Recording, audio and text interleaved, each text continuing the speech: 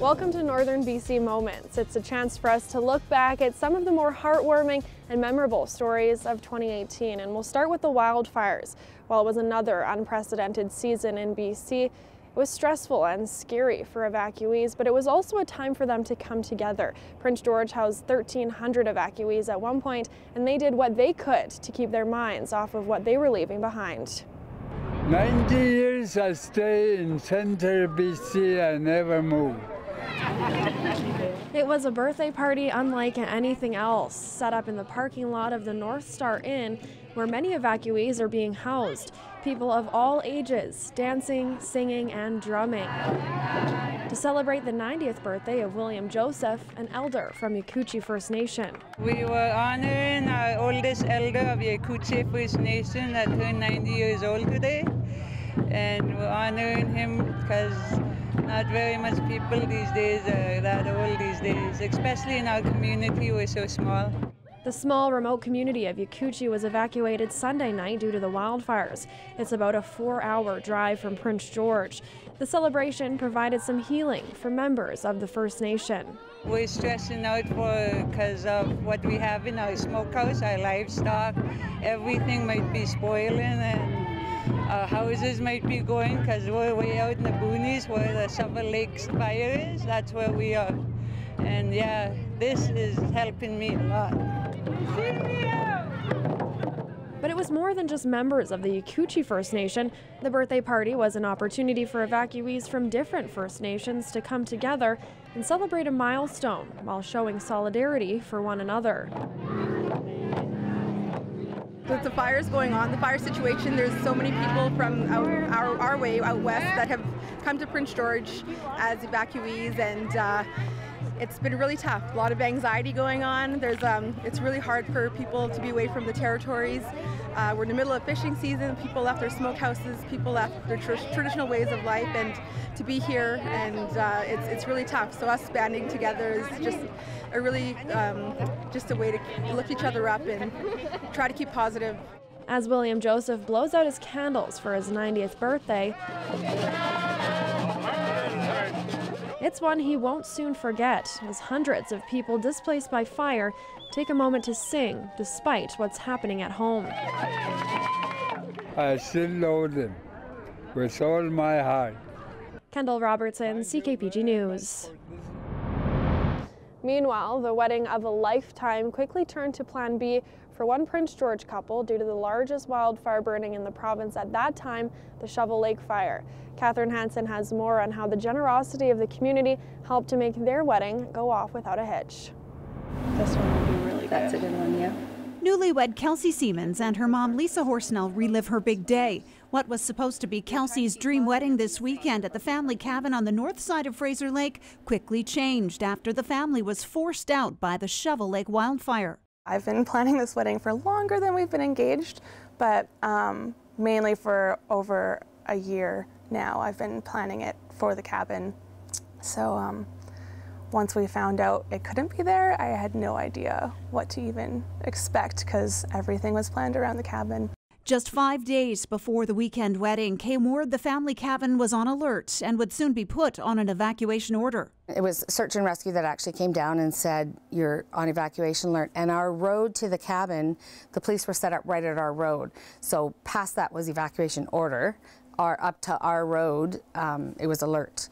And he said within 24 hours, you're going to get evacuated. With almost 200 guests expecting for a wedding weekend of camping and celebration and just a few days to go, Kelsey and groom Tyler didn't want to cancel. Offers of help poured in, including the use of a private hangar at the Vanderhoof Airport. I was really nervous. I had never even really been in an aircraft hangar, so I didn't know what to expect. But once we showed up, I felt so much better, so much relief that it, everyone could still camp there. We could have everything inside, which was really nice because of the smoke as well.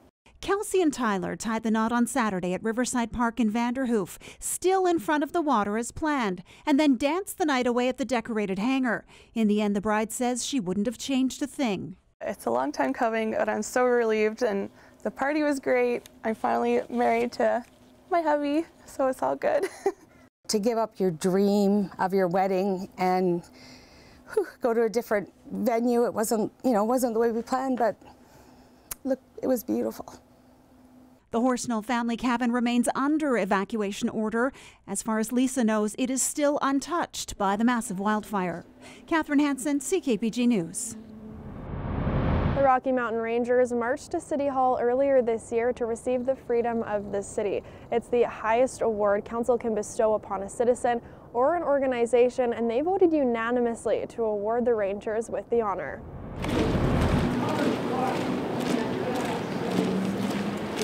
The Rocky Mountain Rangers marched through the city Saturday. It's very symbolic, uh, but uh, but the ceremony has not really changed in six or seven hundred years. It's, it's, still the same thing. Before troops can be allowed to come in, in, in the city, uh, we, we need to get the permission through the freedom of the city.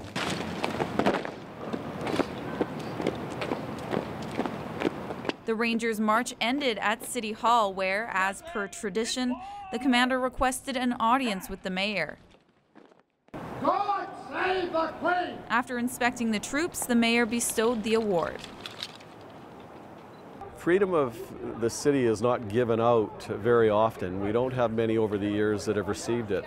Uh, so to be able to give it to the regiment really signifies how important they are to our community. The commander of the Canadian Army was also in attendance. Lieutenant General Paul Wynnyk pointed out that it is somewhat unique for a city to bestow the award onto a group of people like the Rocky Mountain Rangers. It's rare. it, it is a real mark of respect uh, from a community to a community's regiment. And in the case of the Rocky Mountain Rangers, that truly is Prince George's uh, regiment. There is no Canadian Armed other Canadian Armed Forces unit in Prince George, so that is truly Prince George's own. With the freedom of the city, the Rangers now have the right to parade through Prince George, flags flying, drums beating. Ashley Burr, CKPG News.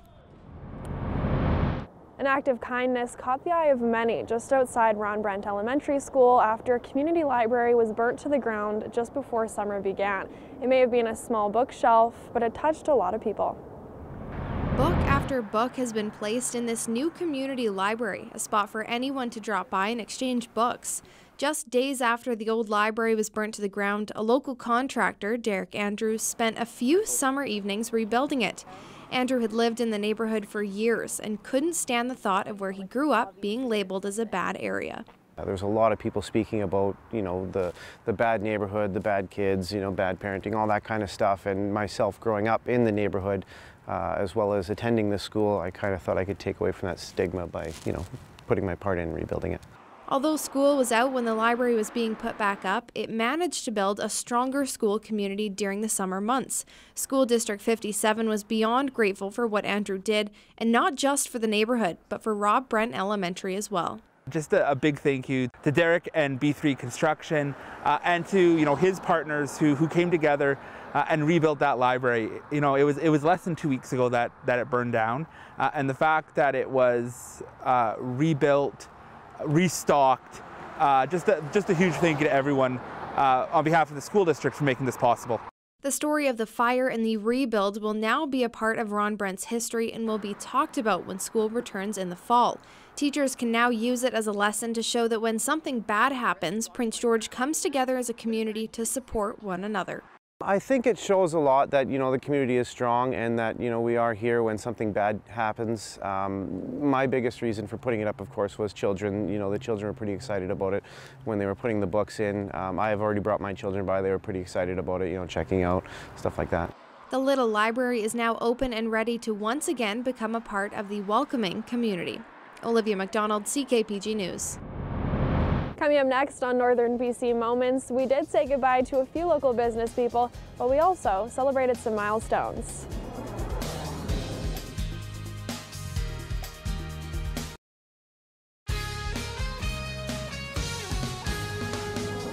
While 2018 did see record-breaking growth in the city, we did say goodbye to a few local business owners who moved on to new endeavors.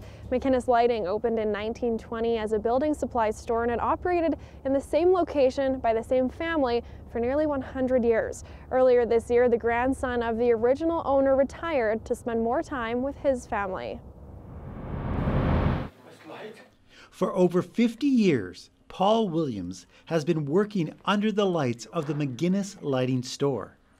At the end of the month, he and his wife Joan will retire from the second oldest retail business in the city. Well, it's one of those things. You get to retirement age and you start looking around at the world around you and, and uh, the wonderful things that have happened to you and our children and our grandchildren and start thinking about spending more time with them. And, uh, you know, when an opportunity comes your way, you look at it seriously and uh, we've decided to uh, go to the next chapter of our lives. The McInnes building has been part of the downtown landscape since Williams' grandfather built it over two city blocks in 1920. And when it became difficult to do building supplies in a, in a bustling downtown, you can imagine semis coming in and trying to unload. We moved to a First Avenue location while still keeping this open with electrical, hardware, plumbing, that sort of thing, and the heavy building materials at our First Avenue location. What name would it be under? Williams attributes the success of the almost one century old business to sticking to family values. I believe your staff and, and your customer base are, are like family.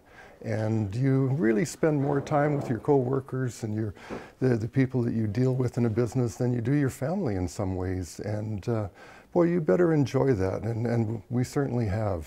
During retirement, Paul and his wife plan to step away from the limelight and see more of their family. The current staff will be joining the new owners at a new location. We feel very humbled by the support we've uh, received here over the years. Uh, Prince George is an amazing community. We always say to people, especially new people coming in, the, our Prince George's greatest strength is, is its people. And uh, they've been very kind to, to us over the years, and we have a deep appreciation for that. Dave Branco, CKPG News. A local restaurant shut its doors. That was a key place for local performers to showcase their music. For five years, Shiraz was a place for Persian food and live entertainment. Uh, this picture is university. Of course, most of these pictures on the wall were from people from university because that was my second home entire time. In Shiraz owner Reza Akbari and his wife Nargis Jamali pulled treasured photos from the wall. Not long ago, this Persian eatery was full of food and music, but a rise in rent and food costs were too much for the owners. Mainly the overhead cost, what we call it in the industry, is uh, the overhead costs keep going up, up, and it get to the point that it was not justifiable at all into the industry. The award winning restaurant was not only known for its food, but for its stage.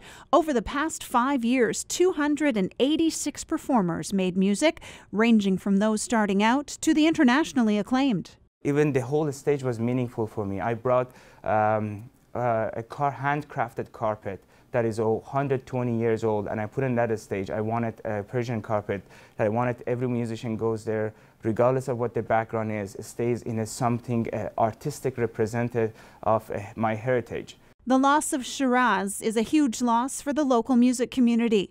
Members are already looking for new places to perform. As far as these like restaurant gigs that offer the beginning musician or or someone who doesn't have a full band or a really big following, it offers them a space to practice in and to hone their craft. And that's a serious loss, to not have a space that offers that. Finding a place for local music is also a mandate of the city as it works to bring a greater arts and cultural presence to the downtown area. The restaurant Shiraz really did, in fact, embody the multiculturalism of our community. And there was an opportunity for uh, many musicians uh, to go in and and uh, really uh, give Prince George an indication of what we're about culturally when it comes to music. And losing that is, uh, is, is, is truly a hit for the city. For Akbari, the music has stopped for now, a decision that wasn't made lightly. Success has many different meaning. For me, was always about making a positive impact on people's life, and I think we did it. Catherine Hansen, CKPG News. After more than 30 years in the business, a local bakery closed its doors for the last time this summer. Not because of a lack of dough, but to mark a new chapter in the owners' lives. As the very last batch of bread goes into the oven, Monica and Roman Muntener say goodbye to the Red Rooster Bakery. We enjoyed having uh, all, all the, the customers. They, they loved it. And and so we yeah sort of it's it's a bit sad but you know the you you just know when it's time to to take it easier yeah The decision to close the bakery came not only because the couple is looking to retire, but because Monica is getting a knee replacement surgery this week, which finalized the closing date for Red Rooster. My passion is ma- uh, baking bread. I love it. I still do, but the we have to take uh, life a little bit easier now. The the joints are giving out. like that. And then we go over here. The couple moved to Prince George from Switzerland in 1986 and brought with them the age old art of bread making. We were used to real bread. So uh, Monica started baking her own bread, and uh, there was no farmers market. We decided let's start a farmers market. Uh, so with a handful of uh, other foolhardy people, we started the farmers market 23 years ago, I think it was. At their home in Mud River, they built a traditional wood fired masonry oven, which fueled their love of the craft. Unfortunately, it doesn't look like Red Rooster's legacy will be passed on. Bakeries are hard to pass on because it is a lot of work and uh, no one wants to do that work. As the last crumbs fall on their final batch of bread, the couple closes the doors on their labor of love and take a new path. Ashley Burr, CKPG News. It wasn't all goodbyes this year, though. A significant change was made at the Immigrant and Multicultural Society to honor a woman who's touched the hearts of many in our community. I want to thank you, Baljeet. You've made a difference in my life and the life of so many people. The room lit up as Baljeet Sethi stood to accept both a Lifetime Achievement Award and the honor of having the Immigrant and Multicultural Service Society building named after her. The Baljeet Sethi Center will now carry her legacy through its name and its ongoing achievements. After retiring back in March, Sethi says she has many good memories and was grateful for what the IMSS did for her. Immigrant Services gave me all this opportunity and all, I, always feel that it has a very special place in my heart because they made me a person that is, is a, a, maybe so many things that in my heart that I wanted to do, but I had no uh, uh, opportunity to do. Many people from Prince George stood to speak on Sethi's behalf, and nothing but kind words were said. It was clear she had quite the impact on this community. She has done an amazing job actually. She is the one who is the founder of this organization. Not only that, but also she has uh, the, put her whole life for the immigrants to helping them. And he, she promoted multiculturalism in the, in the province itself. And she was honored with all over the northern BC, all BC, and all over Canada too. Many would consider themselves lucky to really enjoy what they do for a living, and Sethi was one of those people. The work she did gave her a great amount of joy and allowed her to do things she never imagined were possible. I personally loved my job. It was I never did just my job because this was my my emotion, emotional thing that it was satisfaction for my my mind because this is what I wanted to do to help people. The celebrations didn't stop after the new name was revealed. A day of culture continued over at the Columbus Community Hall with unique food and entertainment from around the world. Olivia McDonald, CKPG News. Coming up next on Northern BC Moments, a local high school celebrates a milestone and a new exhibit makes its way to the exploration place.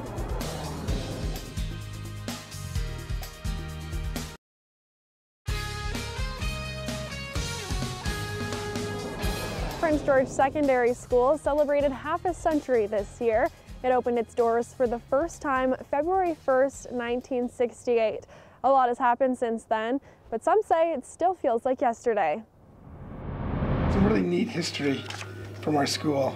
Half a century went by in the blink of an eye for some, many remembering a chilly day as more than 1,000 students marched from the old Duchess Park to a brand new school, PGSS.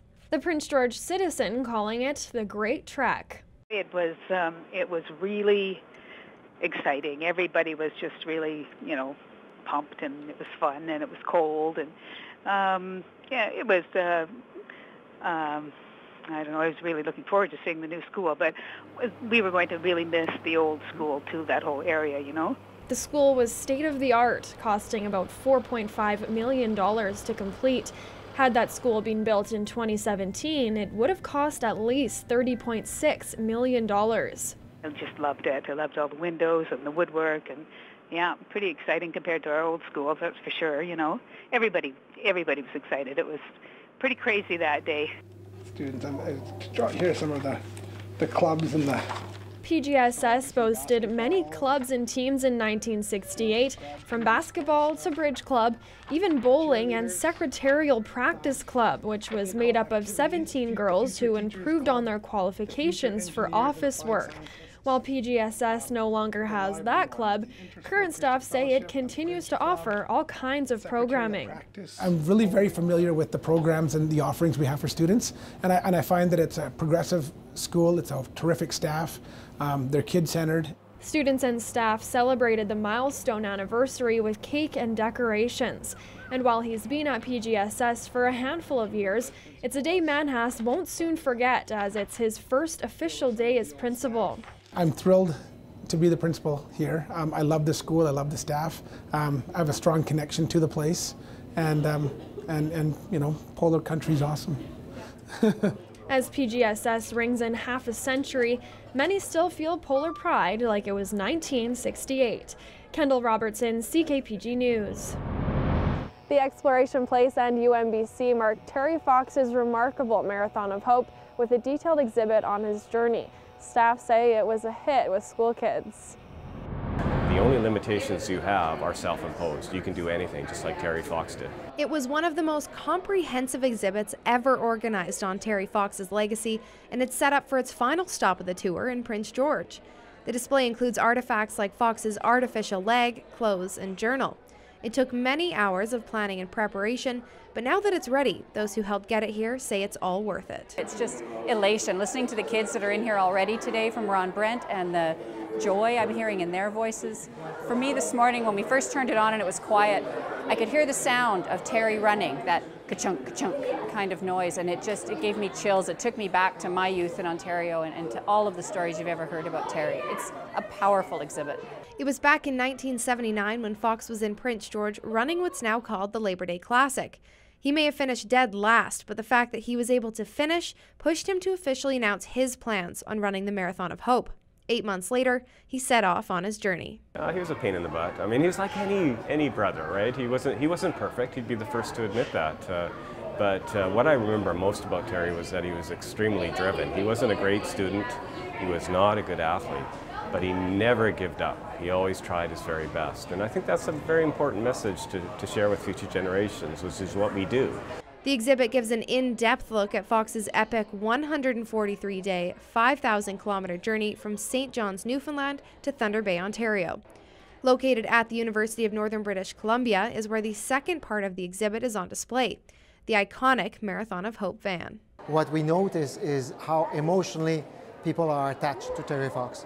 Uh, those who actually have seen it when he was doing his Marathon of Hope in 1980, and, and, and those who actually have never seen him uh, because they're too young, but actually have heard about it and I've, I've been taught about it. And so uh, it's an amazing experience altogether.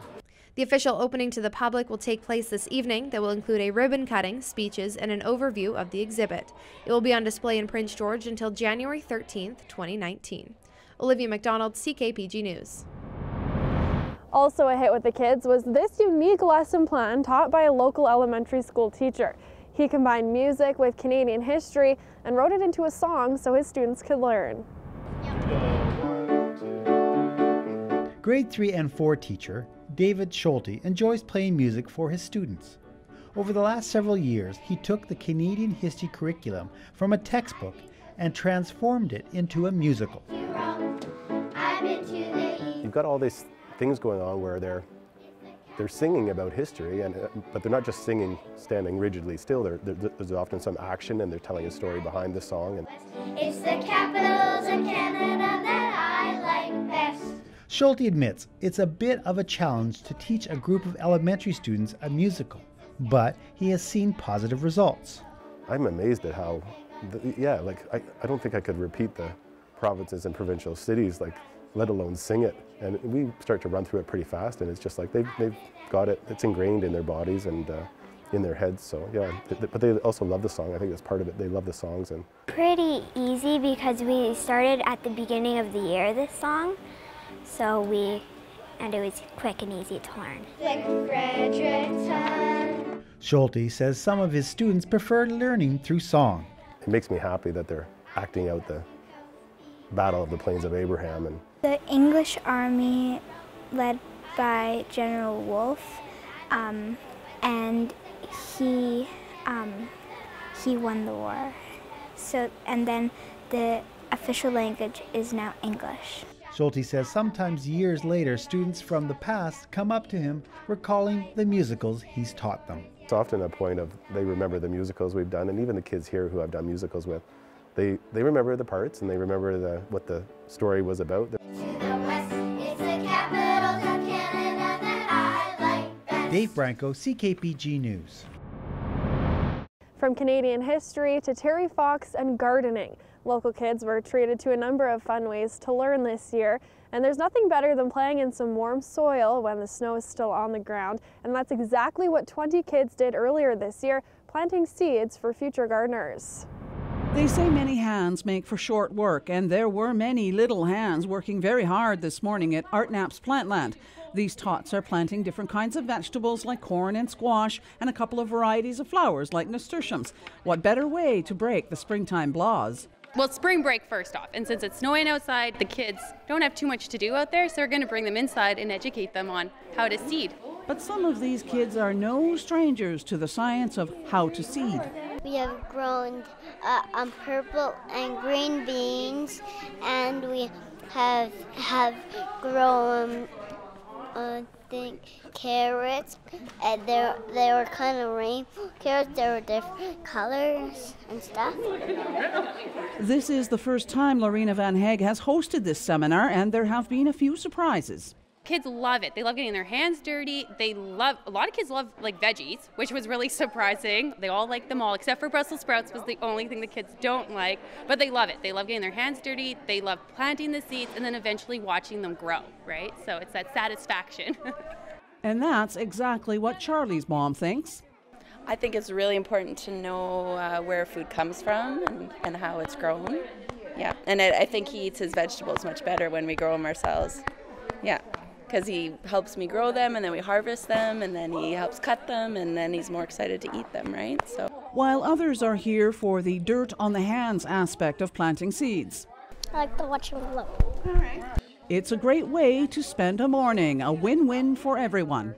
It's something to do that for him and I that doesn't cost an arm and a leg and it's productive.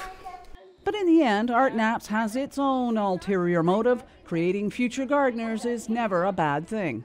We want kids to know where their food's coming from and being able to watch it grow and then this will grow with them right? So now in 20 years they're going to be able to be like yeah we know how to garden because we learned when we were eight years old at Art Knapp's right?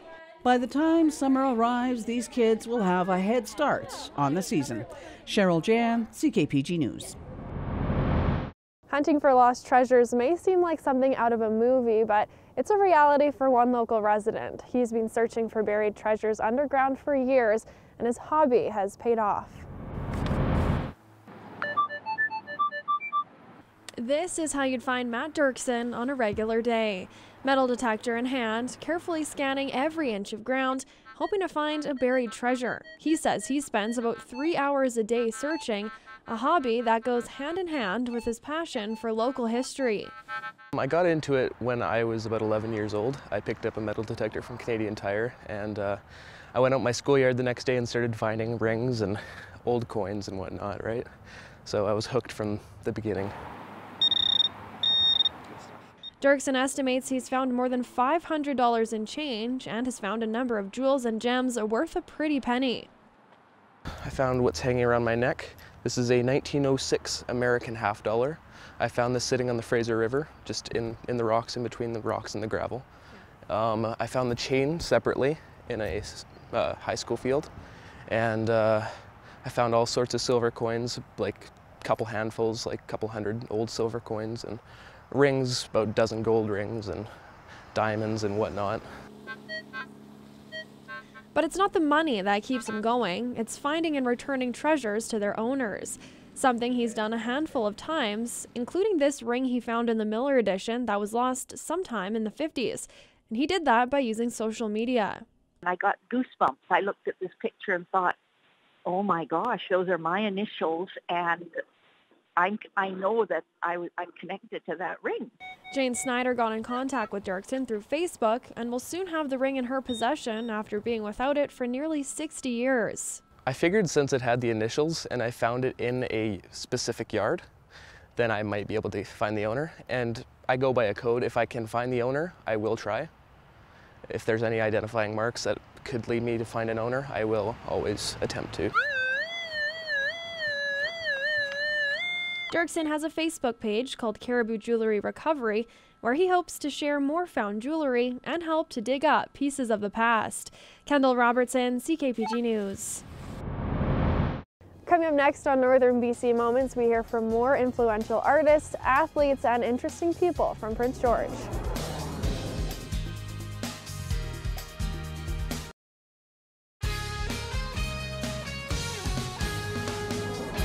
Each year, more than 700 BC residents suffer life-altering burns. The BC Professional Firefighters Burn Fund aims to raise money for those survivors. One local woman is sharing her story with the hopes it will raise awareness. Debbie Wood is a recognizable face at this local paint store. With a cheerful attitude, she's a hard worker and a people person. At the age of two, Debbie suffered third degree burns over 95% of her body. Her mom was pregnant and had German measles at the time. She was quite ill. I wanted to bake a cake for my dad and my sister. Uh, my mom said, let's go and have a nap and we'll get up in time to make sure it's all cooked and decorated before they get home. I laid down with her and waited for her to fall asleep and then got up and pushed a chair up against the stove and leaning over the burners, turning the knobs off and on, and I was wearing a flannel nightgown. And back in the 60s, flannel was cased with kerosene. So that's all it wrote. A neighbor saw her through her home's front window and called the fire department. She remembers everything, including the 472 operations she has undergone over the past 52 years. Now, Debbie is sharing her story in the hopes of raising funds and awareness for those who suffer from burns. Because growing up was horrible. Going through school was horrible. Teenage years were even worse because you've got all the peer pressure. And if you don't look like everybody else, you don't dress like everybody else, you're just an outcast. And we all know what happens to outcasts, you know. I always fought for what I wanted, what I got, nothing ever came easy. Local fundraising happens through the BC Professional Firefighters Burn Fund, which offers a special camp for children who suffer from burns, and a province wide lottery called Hometown Heroes, which raises funds for services in Vancouver, the provincial burn unit. 700 people throughout the course of the year, that's quite a significant number. So we're trying to educate people and prevent these but also for the, for the 700 people that have to go through this, we're trying to make sure there's programs and, and care available to them. Debbie has worked hard to overcome her scars and still faces adversity today.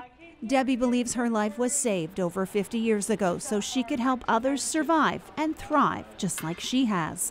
Tickets for the Hometown Heroes Lottery are available online and at London Drugs. Catherine Hansen, CKPG News. We hear now from another local woman who's sharing her story. And when you think of seniors in sports, you probably think of low impact or slower velocity activities.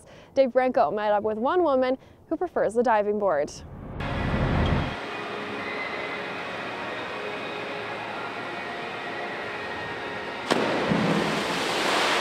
Virginia Hoover has always loved the feeling of flying since the age of 12. Now, 77, Virginia is still launching herself from platforms and into water.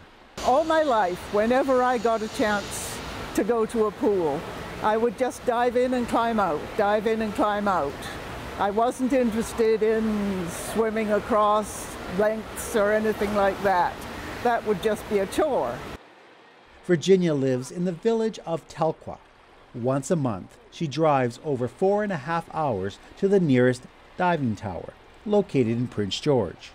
Well, there is a dive I would still like to learn, but it's unlikely I will now. I'm at the stage where I'm having to give up some of my dives because I don't have the the push to get high enough off the boards anymore.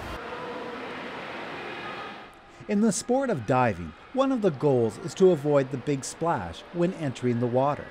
However, when Virginia begins to climb the dive tower, she is known to draw some attention. I notice it when we go to leave.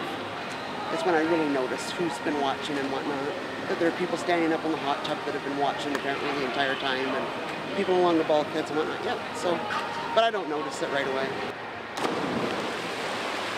I'm amazed by her sometimes, and sometimes I think I don't know what it, you know possesses her to go and do that. Staying active in your older years can improve your physical, mental, and emotional well being. For Virginia Hoover, when it comes to staying fit, she dives right in. Dave Branco, CKPG News. The Maker Lab at the Two Rivers Art Gallery was home to a master carver over the summer. Catherine Hansen has more on what he crafted up. Hours of painstaking and precise work has gone into Leonard Paquette's latest creation. The Aboriginal artist in residence at the Two Rivers Art Gallery is close to finishing this totem pole. He can be seen most weekdays focusing on his craft. I'm in the spiritual world. I walk softly in it. And I, you know, I, I, I love my work. It's the most important thing in my life, besides my daughter and my son. Leonard has been using the Maker Lab as his workspace since 2015, and his presence has been mutually beneficial to the art gallery. Leonard has a spot to work and he can work on some really big projects that would be hard to work on at home. And then at the same time, the public gets to engage with him. Tourists love Leonard. He can tell lots of stories. Um, he's always working with the kids in the camps. He's a mentor for our Maker Lab Youth Immersion program for the teens. Well, it's not hard work. It's just uh, you have to learn it. He learned his skills in jail 45 years ago and has since used Indigenous art to connect and teach anyone willing to learn about it. He can often be found leading workshops with students teaching beading and other skills. We're learning about his practice and how he, he forms a piece of wood, transforms it, does a rough carving, and how we can appreciate how long it takes and the work that goes into it and the dedication he has to his craft. Be really careful with this with the chisel because I could break these out. For Leonard, each piece he works on is special and unique and holds a piece of the artist himself. He figures he has spent over a thousand hours on this yellow cedar pole, which will soon be shipped to a buyer in Toronto. My spirit goes with it. My my my um my spirituality. And so when I finish telling the story, well, that's part of me too. It's not just a, a story, it's part of me. It's what I incorporate with my, in my um, in my art. Catherine Hansen, CKPG News. A new TV series was filmed in Prince George and premiered at the end of September. Local talent and shops were featured, and the creators of the series say they couldn't have done it without them. Good news, Jeff. You're fired. No! Jeff and the Ninja is a Prince George based TV show about a young man desperate to find a roommate. Hi, I'm the ninja. His prayers are answered when a ninja appears at the door and a unique friendship is formed. The series will be shown to the public for the first time at the Prince George Playhouse on September 29th. The director says they chose to release the first six episodes at the Playhouse as a thank you to the city for all their help in filming. People kind of bend backwards for us here. So we were able to pull off a lot of things here that we wouldn't be able to do in a bigger center. And there's been a lot of times where I've had producers, uh, they're like, oh, well, you know what, if you moved to Vancouver, you'd be, you'd already be making movies and all this stuff. And I'm kind of like, well, honestly, I think a big part of the reason why we're doing so good and why we're beating out some of those bigger productions with more money is because we're doing it in Prince George. The first six episodes took roughly nine months to film, and that excludes all the preparation like hiring cast members. Many of the characters were hired locally, and some had never acted before. Dominic Tuvey, who plays one of the main bad guys, says for his first acting job, it was a lot more work than he thought. I had to grow out my beard. I had to learn to eat my mustache. um, I had to try to just add a little bit more size than normal. Um, kind of changed my whole lifestyle for this role. Different scenes in the show feature places around the city like Twisted Cork, Danny's Woodworking, and BX Pub. As the creators get excited to make the second half of the series, they already have a few locations in mind. We actually have another six episodes that are already written and ready to go. Um, and the big finale of our first season actually takes place in a stadium like this. So part of the reason I want to stand here is so people see me here and then maybe they'll let us do it when the time comes. TELUS Optik gave this show the grant it needed and will air the first series early this fall. It will also be available on the Story Hive YouTube channel for those who aren't subscribed to TELUS. Olivia McDonald, CKPG News.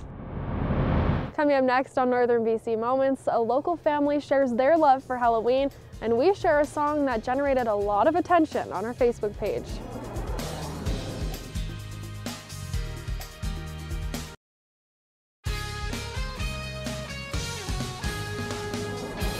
Traditions are a big part of why so many people love Halloween. Many families carve pumpkins, go trick-or-treating, or simply hand out candy together. But there's one family that takes it a step further. Their house is transformed into a spooky display for weeks, and it's a labor of love that keeps them going. Believe it or not, but this is actually a scaled back display for the Coletti family. This year is a little bit shorter. Just the beginning of the month I was busy, so I didn't have as much time. Kind of got cut down to 15 days instead of 30. Yep, that's right. Hundreds of skeletons, pumpkins, and ghosts have been popping up on their front yard piece by piece over the last three weeks. It's such a big job that Spencer moved back home for the month to work on the project.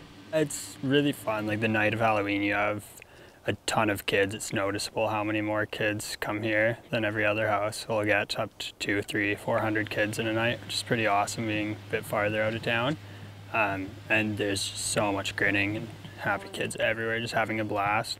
Located just off North Nechako, the house has become a neighborhood attraction. People from all over town stop to check out just what the Colettis will do next. It's something they're thinking about all year long. You know, it's something that you just think about forever. I mean, my son, he got into it some years back, and he's really quite uh, inventive. And he has, uh, he's been the one who kind of put the ideas together. But I mean, we, when we really start this, we don't even have a plan. Like I was talking to him the other day, and he says, "When I'm doing this, Dad, I'm I'm thinking four feet ahead of me, and I'm just doing it." And we've done so many different things. It's, I don't know, it's an ongoing process. This has been a family tradition for the Colettis for about 20 years, and everyone gets involved to help create these bone chilling scenes. No matter who you ask, they'll all tell you the same reason why they do it. Just having to see everyone coming from all around just to see it, that's pretty cool. These ghosts and ghouls will come down tomorrow, and with that, they'll start working on their Christmas display. Kendall Robertson, CKPG News. Like many of us in BC, 87 year old Clarence Boudreau was fed up with the wildfire smoke this season.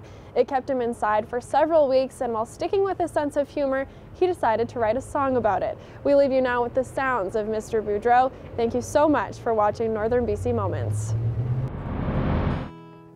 Holy smoke, holy smoke, it's no longer a joke. While we're still saying, let's all hope for rain. We must evacuate before it's too late. If the fires don't slow, there'll be no place to go. If we can't have rain, please send us some snow. You've turned day to night, please send us some light. All Holy smoke, holy smoke, it sure does get your goat when the sky turns red. You feel you're half dead. Holy smoke, holy smoke, holy smoke. Smokey the bear can't be found anywhere. He's up in the Arctic looking for fresh air. Something is tickling the back of my throat. Holy smoke, holy smoke, holy smoke. Please don't take my sunshine away.